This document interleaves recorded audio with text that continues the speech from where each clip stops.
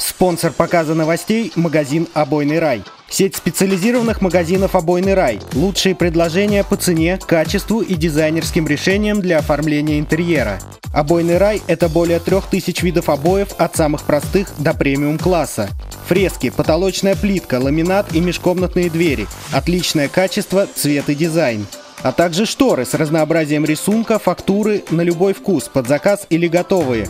В магазин «Обойный рай» приходи и выбирай по адресу Московское шоссе, дом 53 и Северная площадь, дом 5А. Как всегда, «Обойный рай» удивит своими ценами.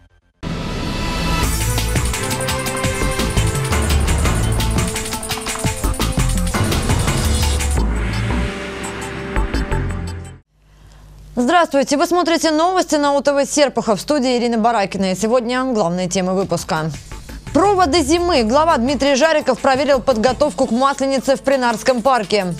Где торгуют смертью? На заседании общественной палаты отдел по контролю за оборотом наркотиков отчитался о проделанной работе.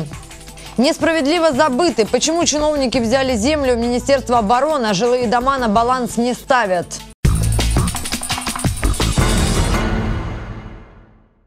Сегодня глава Серпухова Дмитрий Жариков проверил на готовность Принарский парк, который в этом году станет главной площадкой для проведения масленичных гуляний. В Принарском парке продолжается благоустройство. Глава Дмитрий Жариков проверил ход работ. Уже к началу марта будут готовы пять беседок, чтобы жители смогли отдыхать с комфортом. На данный момент к домикам подводят электричество, водопровод и устанавливают камеры видеонаблюдения. После приступят к строительству кафе. Также градоначальник проверил подготовку к масленичным гуляниям. В воскресенье 18 февраля гостей ждет большая анимационная программа с цирковыми номерами, выступления силовых гимнастов-деревиков. Также будут работать аттракционы и ярмарка. На празднике у нас для всех желающих будет роздано, будет подготовлено более 4 тысяч блинов бесплатных. То есть можно будет прийти с горячим чаем, с вареньем. Впервые в Серпухове выступят цирковое шоу «Курочек», а также гостей ждут русские забавы. Ледяная горка, катание на тюбингах и ледянках, бои подушками, хождение на снегоступах, прыжки в мешках, перетягивание каната, метание валенка на дальность. В завершении мероприятия по традиции состоится фаер-шоу и сожжение чучела. На празднике будет разыграно множество призов. Комплексная работа. На расширенном заседании местного координационного совета сторонников партии «Единая Россия» обсудили деятельность отделения ячейки и наметили план работы на ближайшее время. Мероприятие прошло под председательством секретаря местного отделения Дмитрия Жарикова. Подробнее о темах встречи и о принятых решениях смотрите в нашем следующем выпуске новостей. На очередном расширенном заседании Общественной палаты сотрудники отдела по контролю за оборотом наркотиков полиции Серпухова отчитались о проделанной работе за 2017 год. По результатам оперативно-служебной деятельности по незаконному обороту за прошедший год было выявлено больше 112 случаев сбыта наркотических веществ. За 12 месяцев было изъято более 21 килограмма наркотических средств. Можете посмотреть. Самые распространенные – героин, гашиш, марихуана, амфетамин, спайс, соль, метадон, кокаин изымался, фенобарбитал. Пресечена деятельность подпольной лаборатории за пределами городского округа. Арестованы 10 наркосбытчиков, в том числе и закладчица. Гражданка Таджикистана с героином массой 627 грамм и жители других азиатских стран. Неравнодушные жители города зачастую оказывают содействие полиции. О закладках с наркотической дозой и наркоманах, живущим рядом, можно сообщить анонимно по телефонам 35 28 98 35 26 23. Очень хорошо работает 112 те линии, которые у нас поступают в дежурную часть, они зачастую всегда а, объем информации большой идет а, от жителей а, по разному поводу и без повода. Поэтому в срочном порядке бывает, что не дозвониться. 112 работает хорошо. То есть это первая фиксация идет в службе 112, они передают нам карточку. Прохождение информации 1-2 минуты. Планах общественной палаты установить взаимодействие с оперативным общественным штабом по противодействию и распространению курительных смесей и наркотических веществ на территории Московской области. Готов ли город принять поток туристов? Сегодня Общественная палата совместно с городским отделением общественной организации Всероссийский совет местного самоуправления обсудила тему Серпуха в туристском маршруте «Золотое кольцо России». Круглый стол прошел на базе историко-художественного музея, и это не случайно. Учреждение культуры известно за пределами нашего города давно благодаря тем фондам, которые бережно хранит, и тем формам работы, которые внедряют для привлечения туристов. Проект «Ожившие картины» получил высокое признание. Серповский историко-художественный музей готов к тому, чтобы вступить в Золотое кольцо и чтобы представить наш город Серпухов самом выгодном свете для посетителей иногородних, и наших серпуховичей. Но наши серпуховичи уже хорошо знают э, форму нашей работы. Э, приезжие гости тоже дают оценку. То есть ту работу, которую мы сегодня проводим, в первую очередь, конечно, мы сегодня нацеливаем на прием гостей извне. Серпухов умеет удивлять и готов предложить туристам интересные маршруты по историческим местам. Участники круглого стола пришли к выводу, что уже сейчас, до объявления результатов комиссии по разработке маршрута «Золотое кольцо России», необходимо составить программу туристического развития. В погоне за рейтингами на этой неделе районные СМИ в очередной раз разместили в своих сетевых ресурсах недостоверную информацию. В этот раз журналисты затронули тему судебного заседания с участием бывшего мужа серпуховички Маргариты Грачевой. Напомним, несколько месяцев назад молодой человек в порыве ревности отрубил девушке кисти рук. По словам авторов портала, на судебном заседании представители городской прокуратуры выступили против лишения Дмитрия Грачева родительских прав. Однако по официальной информации, полученной из ведомства, сотрудники прокуратуры не только не выступали за заключением по делу, но и озвучили свою позицию по существу спора. Цитирую. «Ввиду невозможности совершения данного действия до окончания стадии судебного следствия». Мы продолжим следить за развитием событий. Заявление чиновников сельского поселения Васильевское о том, что Фенина на землях, переданных Министерством обороны Серпуховскому району, полигона не будет, вызвало неожиданный резонанс. Жители бывшего военного городка недоумевают, почему на баланс поселения не берут их дома. Земли военного городка взяли, а про людей забыли. При этом чиновники от участка площадью 117 гектар не отказались и планируют его сдавать в аренду. Тему продолжит Маргарита Кирикович. У Бахмута сын занимается этими помойками – и они хотели это все взять в свои руки. Очередное заверение главы сельского поселения Васильевской, что полигона Фенина не будет, особого доверия у людей не вызвало. Благие намерения местных и районных властей жители не верят. Никто не дает гарантии, что на 117 гектарах появится экологически безвредное предприятие. Поэтому предложение жителей ближайших деревень СНТ, переданные Серпуховскому району земли Министерства обороны, отдать лесному фонду, было закономерным. А нельзя вот эту землю нашу перевести э, в лесной фонд? Нет. Почему?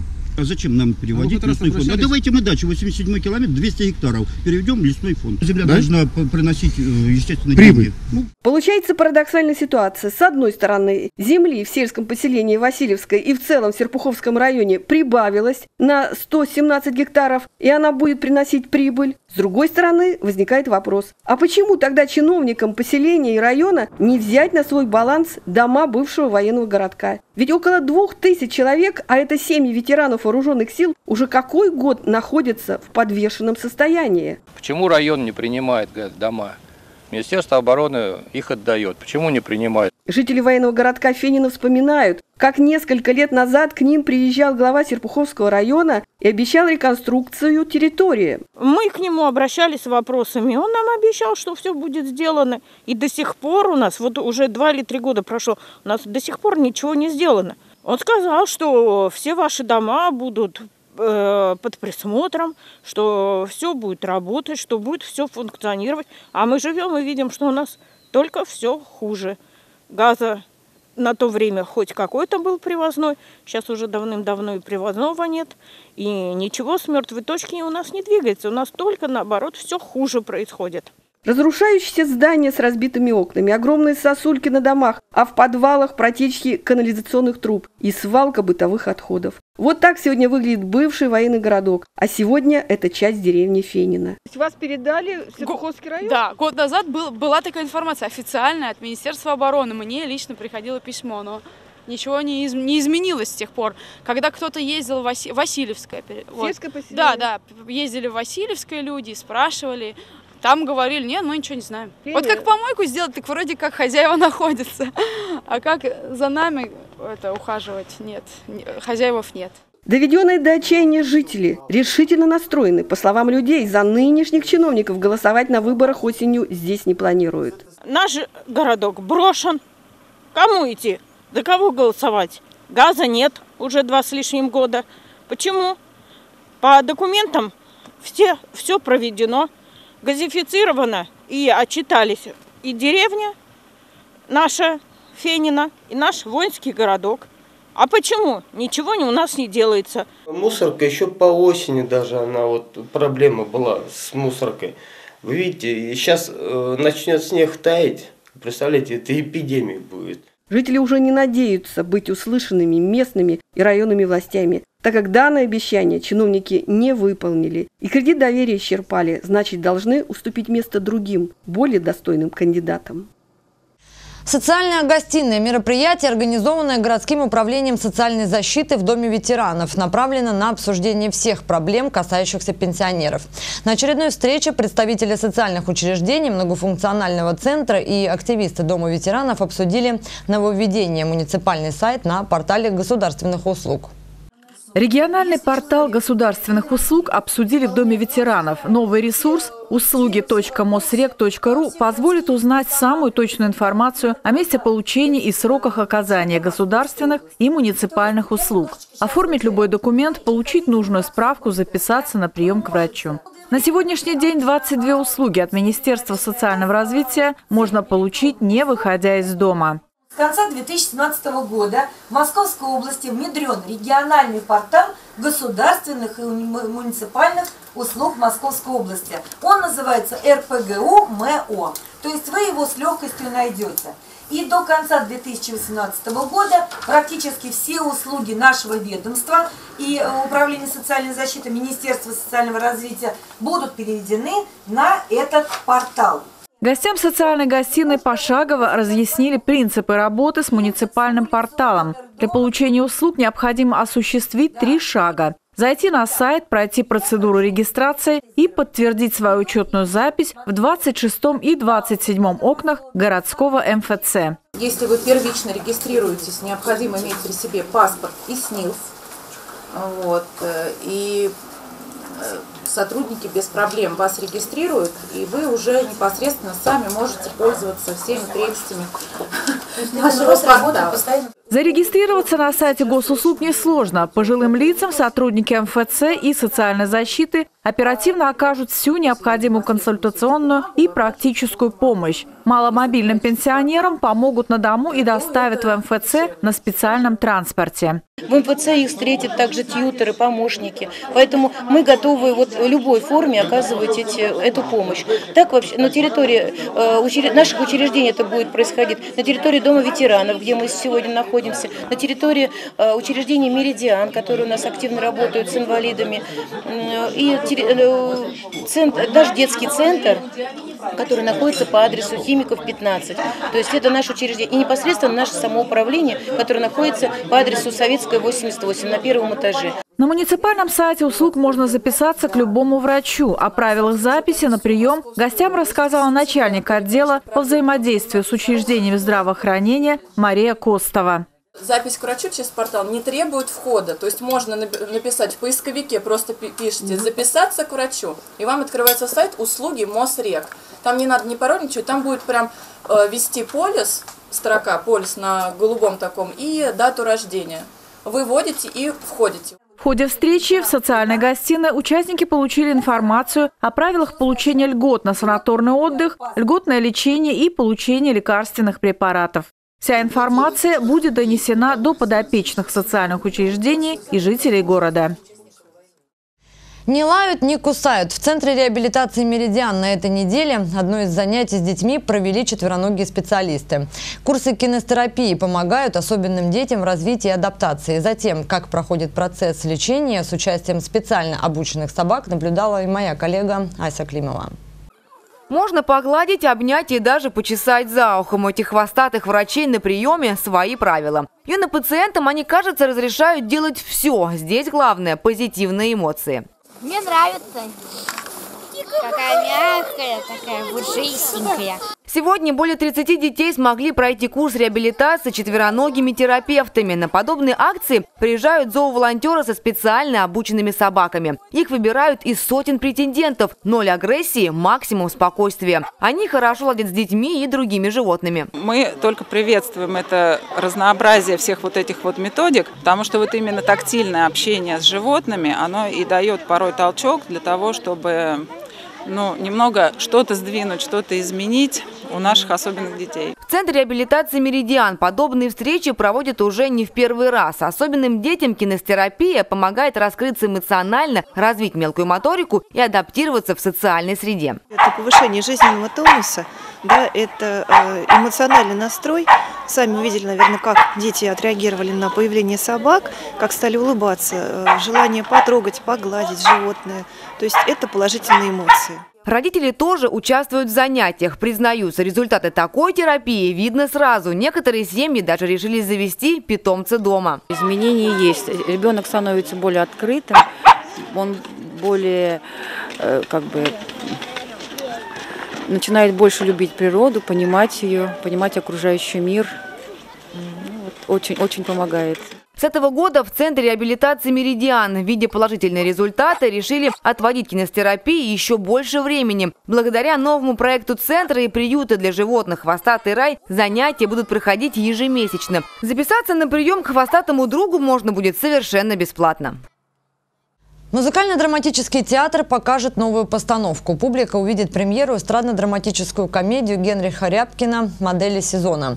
Художественный руководитель театра Павел Цепенюк и директор Игорь Шестун рассказали о спектакле на пресс-конференции. Если жена в науке, что остается делать добропорядочному супругу? Помогать жене делать докторскую и брать на себя стирку-уборку. Однако такой формат семейных отношений не слишком устойчив. Рано или поздно мужчина вспоминает о своем месте в науке, и это меняет весь ход событий пьесы. Модели сезона, э, и там, э, как бы сказать, любовь в семье. Вот чем держится семья? Какими скрепами?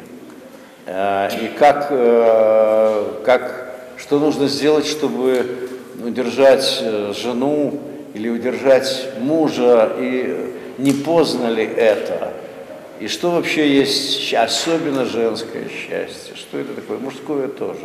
Нашли, не нашли. Сюжет пьесы о перипетиях семейной жизни всегда актуален. Он будет интересен зрителю любого возраста. Актеры музыкально-драматического театра, как всегда, блеснут эстрадно-хореографическими номерами. Песни новеллы Матвеевой, Булата Акуджавы и других известных авторов прозвучат в необычной оркестровой аранжировке в исполнении Татьяны Чурикова и Дмитрия Глухова.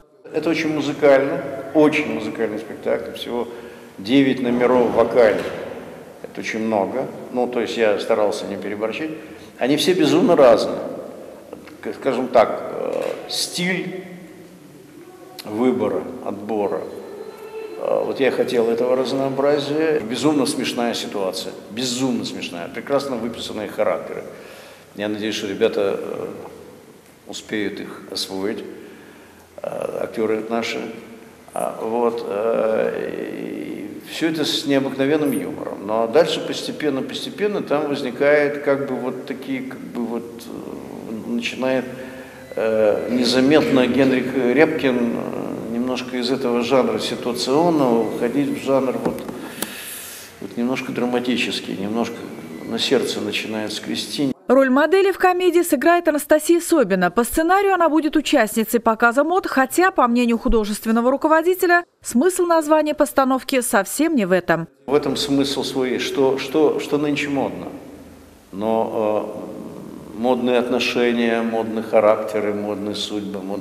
не, не только одежда. В спектакле играют блистательные актеры, кандидат наук Виктория Дроняева, ее муж Сергей Ургансков, профессор Михаил Диамент, официант в ресторане Родион Баулин. Премьерные показы модели сезона состоятся 18, 23 и 24 февраля. Подробности смотрите на сайте городского театра. Серпухов готовится к масштабным масленичным гуляниям. Всю неделю праздничные мероприятия шли в разных уголках города. Угощали блинами на Красном текстильщике, Чернышевской, Бумажной и в Ивановских двориках. В эти выходные провожать зиму продолжат в парках города. В субботу развлекательная программа стартует в питомнике. Здесь можно будет весело провести время с детьми и принять участие в конкурсах и играх. А кульминация праздника с насыщенной развлекательной программой и традиционным сожжением чучела масленицы состоится в Принарском парке. Начало программы в 13 часов. 15 февраля в Щелкове состоялось областное первенство побольше среди людей с ограниченными возможностями здоровья. В соревнованиях приняли участие 15 спортсменов из различных городов Подмосковья. Серпухов представляли члены клуба «Равные возможности». После напряженной борьбы второе место занял Артем Дианов, который был награжден грамотой и медалью Министерства физической культуры и спорта Московской области. А на сегодня это все. Далее прогноз погоды в 21.20. Смотрите новый выпуск программы «Сделай громче», гостем которой станет Вадим Самойлов. Отслеживайте новости на нашем сайте, на официальном сайте администрации города. Мы также есть во всех социальных сетях. Всего вам доброго и до встречи в эфире.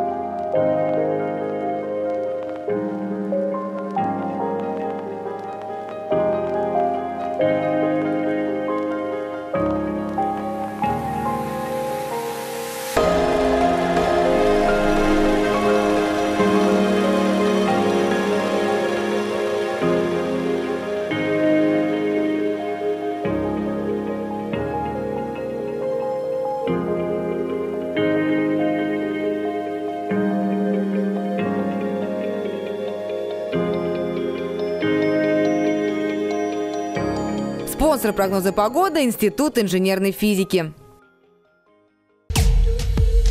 Спонсор прогноза погоды – строительная компания «Партнерство». Готовые квартиры в новом микрорайоне по привлекательным ценам. Многолетний опыт работы, высокий уровень комфорта, тысячи счастливых обладателей квартир. Компания «Партнерство». Хорошая погода в вашем доме в любое время года.